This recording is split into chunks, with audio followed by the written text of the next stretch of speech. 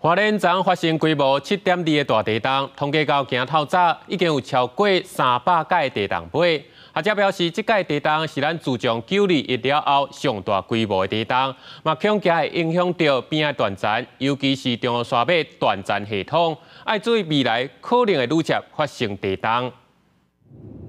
华莲近海规模七点二的大地震，全台湾拢感受会到，而且灾情不断。根据气象署的统计。到早起十点五十五分，已经超过三百届余震，好全台湾民众是真惊吓。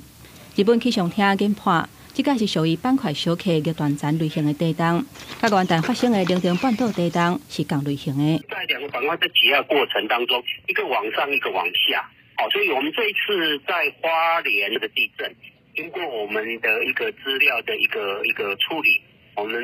呃目前初步判断，它是一个逆断层的一个形式。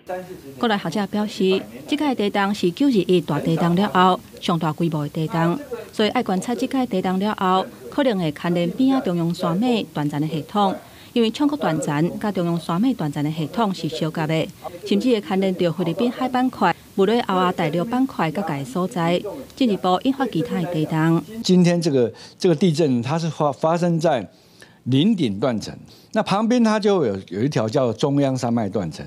哦，那中央山脉断层它可能会被触动。其实今天这一天里面的有些余震、地震呢，已经在这个断层上发生了。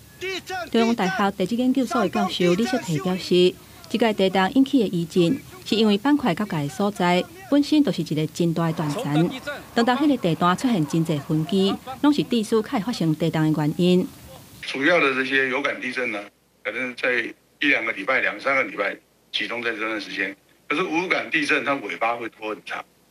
前气象局长戴明德嘛，伫人面前打出两张玉山主峰的相片，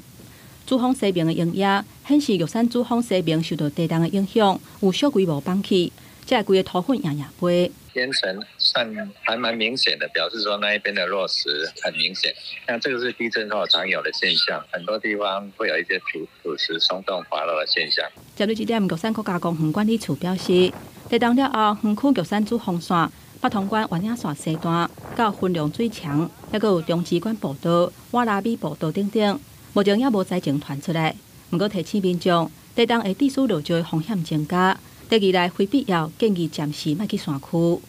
记者综合报道。